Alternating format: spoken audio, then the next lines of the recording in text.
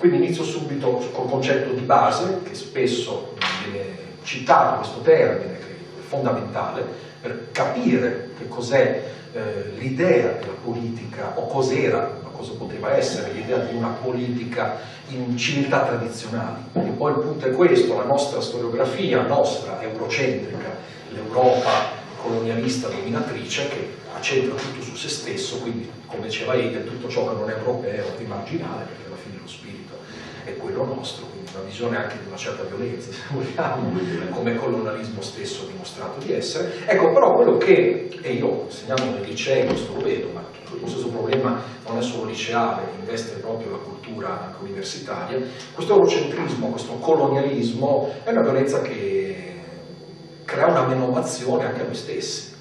E questo è un problema molto serio, perché eh, ci crea delle categorie mentali, delle categorie eh, ermeneutiche, se vogliamo, eh, accecanti, cioè noi non riusciamo a vedere altro, cioè riusciamo, cioè, anche se lo vediamo non lo riconosciamo. Non possiamo nemmeno accettare l'idea di, di, testi storici indiani che esistono, si chiamano Purana per esempio. Purana, questo ce l'ho qui.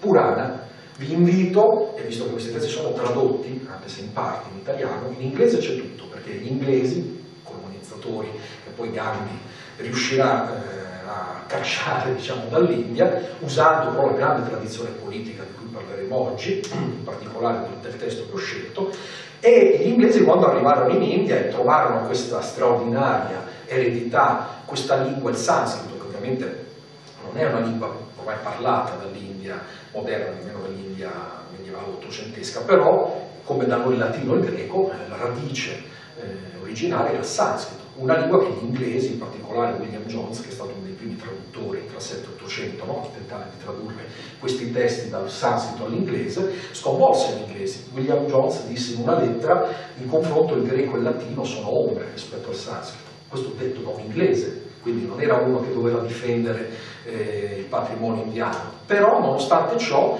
ecco, anzi proprio per questo, riconoscendo questa straordinaria valenza eh, culturale no? di questa realtà così lontana dall'Europa, gli inglesi cercarono di svalorizzarla subito. Jones disse dobbiamo stare molto attenti perché qui abbiamo una civiltà molto più evoluta della nostra. Cioè questi eh, insegnano qualcosa a noi e non il contrario. Però siccome noi siamo gli invasori cosa dobbiamo fare? Dobbiamo fare in modo che gli indus stessi eh, svalorizzino la loro storia. E hanno fatto questo gli inglesi, hanno fatto una violenza non solo fisica ma anche psicologica e Gandhi con questo punto fa i conti, cioè far svalorizzare, far deprezzare questi testi, il Mahabharata, il Ramayana, tutti i grandi poemi che poi oggi sono rivalutati anche in senso storico, non sono solo delle favolette o delle storie di fantasia, ma oltre a delle presenze comunque allegoriche in quei poemi ci sono anche riferimenti a dinastie realmente esistite. Per esempio la città di Dvaraka, no? che era, è considerata era considerata mitologia, bene, un archeologo è riuscito a scoprirla esattamente eh, nei fondali oceanici, dove il poema indicava questa città, che secondo il poema è sprofondata. L'archeologo che ha fatto questa scoperta si chiama Rao, potete fare una ricerca, archeologo Rao negli anni 60, lui mandò dei sommerzatori, proprio basandosi su quello che i poemi indiani dicevano e trovando proprio la città di Dvaraka, quindi Dvaraka non è più una città, non possiamo più considerarla mitologica, ma storica, perché sono stati ritrovati questi ed è una scoperta straordinaria. Guarda caso non si parla quasi mai di questa scoperta, perché c'è questo eh, muro, diciamo, una sorta di pregiudizio eh, dal punto di vista culturale, proprio perché riconoscere questi, queste tradizioni, questi testi altri, significa che cosa? Non solo sminuire, tra virgolette, un, un eurocentrismo, ma anche riconoscere una storia diversa, no? un modo diverso di vedere la storia, un modo diverso di vedere la politica, un modo diverso di vedere la realtà. Nei Purana voi potete trovare, eh, sono testi enciclopedici, io li studio da diversi anni e li ho appena sfiorati, quel poco che ho visto vi assicuro che è sconvolgente. Purana vuol dire antico, anche se non c'è una parola in realtà che possa in italiano rendere il sanscrito, però ecco, la traduzione più corretta è antico. Di questi Purana ce ne sono tanti, sono testi enormi, ripeto in inglese è stato tutto tradotto, in italiano c'è solo qualcosa, anche se c'è un Purana integralmente tradotto, eh, lo Srimad Bhagavatam o Bhagavata Purana, poi se volete approfondire vi posso dare delle indicazioni bibliografiche, vi invito a, a leggere questi Purana, perché trovate una conoscenza avanzatissima. Io ho trovato in questi Purana testi di millenni fa, millenni, molti, almeno 5.000 anni fa, ma in realtà si ipotizza che siano testi ancora più antichi o comunque che rimandino a civiltà ancora più antiche, c'è una conoscenza matematica avanzatissima, biologica, astronomica e anche politica. Faccio un esempio brevissimo perché volevo arrivare al discorso politico, così capite anche il, il sabotaggio, l'autosabotaggio culturale che il colonialismo ci ha causato. I numeri, per esempio. Tutti voi sapete cosa sono le cifre, lo 0, 1, 2, 3. Faccio questa domanda. Questi numeri da dove vengono? Ecco, quello che dicono tutti gli studenti. È vero ma non è vero. Cioè, gli arabi l'hanno portato dall'India, sono numeri arabo-indiani. Gli arabi, che hanno colonizzato prima degli inglesi l'India, gli arabi erano e sono stati sempre straordinari nel far viaggiare la cultura. Noi dobbiamo anche a loro per il recupero di Aristotele, cioè gli arabi hanno fatto cose straordinarie. E sono loro che hanno portato queste cifre, in particolare lo zero. Perché alla fine noi avevamo i numeri romani, una stanghetta, due stanghette, non c'era lo zero. Lo zero è un mistero, perché non è il nulla, ma non è nemmeno una quantità, è qualcosa, è il simbolo dell'infinito, secondo la filosofia vedica, il Brahman, l'assoluto. Oggi la fisica eh, indicherebbe con lo zero il vuoto, il V eh, delle civiltà orientali. Ecco, queste cifre vengono dalla cultura vedica, rientrano nel sanscrito. Se tu vai a vedere l'alfabeto sanscrito ci sono queste cifre, che gli arabi hanno portato da noi, ma non hanno inventato gli arabi. Questo Faccio questo esempio, ma potrei parlare per esempio di astronomi come Bhaskaracarya, Brahmagupta, astronomi che secoli prima di Newton e di Galileo avevano già calcolato la forza di gravità e il sistema eliocentrico, calcolato in modo perfetto, preciso, con equazioni. Di questo però ovviamente non si parla nei libri, perché noi dobbiamo essere il numero uno, quindi Galileo, Newton, possiamo dire che degli astronomi indiani, quando da c'era il Medioevo e pensavano che la Terra fosse il centro, avessero già calcolato vi invito ad aprire la mente perché eh, scoprirete cose interessanti. Non voglio, vorrei che ognuno di voi fosse incuriosito, andasse a cercarsi questi Purana, perché ci sono in italiano. Poi alcuni si possono anche leggere su internet, si possono anche scaricare gratuitamente. Veniamo al discorso della politica, della, delle civiltà tradizionali, della tradizione, in particolare della cultura dei Veda. Si chiama civiltà vedica perché i testi diciamo, più antichi si chiamano Veda, che vuol dire sapere. Veda in sanscrito vuol dire sapere, vuol dire conoscenza, Veda. Poi eh, in realtà anche le nostre lingue sono tutte di derivazione, si chiamano lingue indoeuropee, ma la radice è sanscrito, men, man, eh, uomo, la radice in sanscrito è manu. Fare un esempio, ci sono un sacco di parole la cui derivazione è appunto il sanscrito stesso. Visione, no? Veda, visione, qual è la fonte della conoscenza primaria? Quello che noi vediamo, quindi Veda, sapere. Benissimo, questa cultura vedica che ha una storia straordinaria, anche sconvolgente sotto certi aspetti, ha prodotto delle civiltà e delle dinastie straordinarie, straordinarie. un modo di concepire la politica eh, che secondo me oggi potrebbe far riflettere e potrebbe dare degli spunti, non solo di riflessione, anche di vita pratica, infatti arriverò anche su questo punto. Quindi il centro di tutto è la parola dharma, quindi un altro termine che non si può non, non si può ignorare, perché il concetto di dharma che spesso viene citato dai buddisti, ma in realtà è, è precedente, sapete che era il Buddha, il Buddha era un principe indiano, quindi tutto ciò che è il buddismo in realtà non è nuovo, il buddismo non ha nulla di nuovo. La novità è il modo in cui questo, questo uomo, questo, che poi verrà chiamato Buddha, ma in realtà è un principe, Siddhartha Gautama, che poi verrà chiamato Buddha, perché Buddha vuol dire risvegliato, risvegliato, colui che si è svegliato dall'illusione, da Maya, insomma poi possiamo, se volete, approfondire. Ma in realtà tutti i concetti del buddismo derivano dai Veda, quindi il concetto di reincarnazione, di karma, eh, di dharma, sono tutti concetti, parole di questa civiltà, di questo sanscrito. Tra parentesi il sanscrito, dicono grandi studiosi, non certo io, è considerato, eh, è considerato una lingua perfetta. Cioè, non c'è nessun'altra lingua che possa essere paragonabile come struttura, come complessità, come densità, eh, come organicità al sanscrito infatti chiamata la lingua degli dei, Devanagari. Infatti chi studia il sanscrito rimane veramente colpito da questo.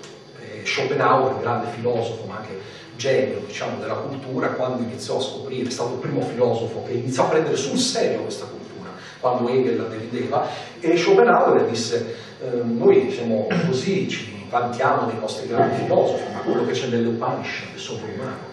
Questo diceva Schopenhauer, ed era ateo. Eppure quando leggeva la Gita, non so se avete mai sentito questo, termine, questo testo, la Bhagavad Gita, altro testo che vi consiglio di leggere, è un testo che ha cambiato la vita Gandhi. Gandhi diceva io senza la Gita non sarei diventato, non, non sarei esistito. Addirittura chiamava la Gita la mia seconda madre.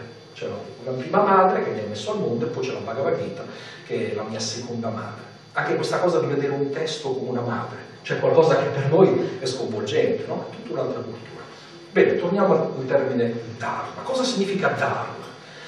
Anche qui non c'è una parola in italiano, io non posso darvi una parola che corrisponda, non c'è un equivalente.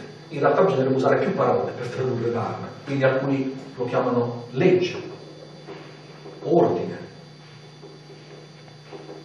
Sono tutti, eh, diciamo, concetti che si avvicinano, ma Dharma in realtà è qualcosa che va ben oltre già il suono stesso, Dharma, cioè dà l'idea di una struttura, cioè di un ordinamento, quello che i, greci chiamavano cosmos. No? Ecco, magari il termine greco che più si avvicina a Dharma no? potrebbe essere cosmo, cosmo è un ordine, ma l'ordine è un qualcosa di non casuale, è qualcosa che è stato progettato da un'intelligenza. Questo è molto interessante, perché tutte le civiltà tradizionali, non, e quando parlo di tradizionali quindi non parlo dell'India, parlo di tutte le grandi civiltà che sono state devastate dai colonialisti europei, i Maya. In Africa ci sono cose straordinarie, gli aborigeni australiani che noi pensiamo, consideriamo dei selvaggi. Poi vi leggerò un brano di un grande studioso, Servier, che era un antropologo, e che studiando, studiando anche le tribù africane, sapete cosa disse? Disse che la struttura politica di queste tribù in Africa non ha nulla di meno delle grandi strutture politiche che noi troviamo in Inghilterra nel XVII secolo. Questo per dire come in realtà c'è un pregiudizio culturale, che se noi non, non eliminiamo, e non è facile, io parlo in prima persona, ancora ci, ancora ci casco a volte, devo lavorare su me stesso per vincere questa cosa, e ci lavoro anche con i miei studenti, perché c'è un bel lavaggio del cervello, ma non fatto da persone che vogliono, è proprio automatico, ormai è diventato un automatismo da secoli, perché si è innescato questo processo. Quindi smontarlo non è facile. Quindi vedere la realtà, come tutte le tradizioni dicevano, come qualcosa di ordinato, un ordine perfetto. La, la modernità non dice questo, la modernità ha creato il caos, poi dice che fra l'altro quest'ordine non nasce da un'intelligenza, poi su questo se volete possiamo fare un discorso anche scientifico, come professore accennato io mi occupo anche di filosofia della scienza, ho scritto dei saggi anche sul, sul tema del darwinismo, del neodarwinismo, anche su questo ci sarebbe molto da discutere, perché le società tradizionali non parlano di un'evoluzione casuale, ma parlano proprio di una strutturazione di tutta la natura, tutta la realtà, compresa la realtà sociale. La realtà sociale dei regni antichi non era a caso e chi governava non si basava sul caso, si basava sul Dharma. Non è come il politico moderno che dice adesso ci inventiamo una nuova politica, no? facciamo una politica creativa, oggi no, si parla di economia creativa. Questa dal punto di vista tradizionale è follia, cioè significa essere impazziti perché c'è già un dharma perfetto, c'è un ordine nell'universo perfetto, secondo queste tradizioni. Siamo noi che lo alteriamo. e quando tu lo alteri, dopo non dico che sia impossibile ripristinarlo, però quantomeno bisognerebbe un attimo fare dei passi indietro, o quantomeno fermarsi, cosa che invece non sta avvenendo. Soprattutto i problemi che abbiamo a livello sociale, di criminalità, di malattie psicologiche, di caos economico, sociale, politico. Tutto questo, secondo non me, ma sono d'accordo con gli studiosi che l'hanno detto, come Genon, non so se avete mai sentito parlare di René Genon, uno studioso che vi consiglio, ma non solo lui, altri grandi studiosi, lo stesso Servier. Cioè la modernità che sembra essere progresso, in realtà è un'alterazione della legge, un'alterazione del Dharma, cioè di quest'ordine cosmico che era perfetto e che è stato alterato. Perché è stato alterato adesso ci arriveremo. Però intanto capire in cosa consiste quest'ordine perché questo ordine ha una struttura. Quali sono i pilastri di questa, di questa struttura? Il buddismo ne parla, ma, ripeto, tutte le civiltà tradizionali parlano di questi pilastri. I pilastri sono quattro, adesso ve li dico, forse alcuni li sapranno, però è bene prima di leggere il testo rinfrescare un po' la memoria. Ci sono quattro pilastri del Dharma.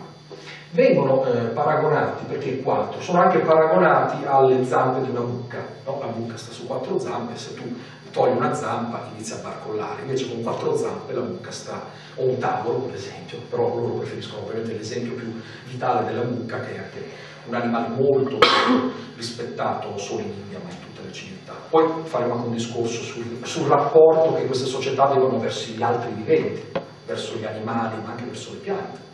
E voi sapete bene invece la modernità come considera gli altri esseri. Poi dovrei sentire che percezione avete di quello che questa società fa agli animali, alle piante, metà delle foreste spazzate via negli ultimi 50 anni, metà delle foreste del pianeta sono state 50-60 anni, poi parliamo di quello che succede agli animali, diciamo, a questi altri diciamo, concittadini di questo pianeta. E vi leggerò i passi di questo straordinario re eh, indiano.